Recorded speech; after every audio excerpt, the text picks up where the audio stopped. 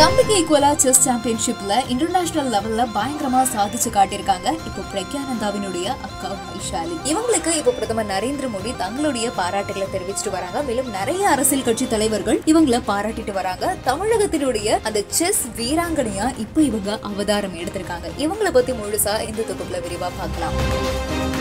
FIDE grand Swiss தொடர் பிரிட்டன்ல வச்சு நடைபெற்றது. மகளிர் பிரிவுல நடைபெற்ற இந்த இறுதி சுற்றுல மங்கோலிய வீராங்கனை பத்கோயாக் முங்குத்தலைய வைஷாலி எதிர்கொண்டாங்க. இந்த போட்டி டிரால தான் கடைசியில போய் முடிஞ்சிச்சு. பிரக்யானந்தாவோட அக்கானா சும்மாவா அவங்களும் ஈக்குவலா அவங்களுக்கு ஈடா வந்துட்டு பயங்கரமா செஸ் பிளேயரா இருக்காங்க. ஆனா அது இது நாள் வரைக்கும் வெளியில தெரியாம இருந்துச்சு. இப்ப கொஞ்சம் கொஞ்சமா வெளியில தெரிய ஆரம்பிச்சிருக்கு. இந்த தொடர்ல அதிக புள்ளிகள் பெற்றவங்க இவங்க தான் அப்படிங்கிற முறையில சாம்பியன் பட்டத்தை இப்போ வைஷாலி தான் வென்றிருக்காங்க. மேலும் சுமார் இருபது லட்சம் ரூபாயும் அவங்களுக்கு பரிசு தொகையா கிடைக்க பெற்றிருக்கு இந்த வெற்றி மூலமா அடுத்த வருஷம் கனடால நடைபெற இருக்கக்கூடிய மகளிருக்கான செஸ் கேண்டிடேட் தொடர்ல விளையாடுறதுக்காகவும் வைஷாலி இப்போ ரெடி ஆகிட்டு வராங்க. ஏற்கனவே ஆண்கள் பிரிவுல உலக கோப்பையில வெள்ளி பதக்கம் வென்றிருந்தாங்க அவங்களுடைய சகோதரர் பிரக்யானந்தா இப்போ அவங்களுக்கு ஈக்குவலா இவங்களும் வந்துட்டு இன்டர்நேஷனல் செஸ்ல பயங்கரமா விளையாடுறது மக்கள் மத்தியில ஒரு பயங்கரமான ஒரு ஆச்சரியத்தை ஏற்படுத்திருக்கு எப்படி அக்கா தம்பி ரெண்டு பேரும் இவ்வளவு ஐக்கியோட இப்படி பயங்கரமா செஸ் விளையாடுறாங்க அப்படிங்கிறது ஒரு ஆச்சரியத்தை ஏற்படுத்திருக்கு மேலும் இது தொடர்ந்து பிரதமர் நரேந்திர மோடியுமே இவங்களை இப்போ மனதார பாராட்டியிருக்காங்க.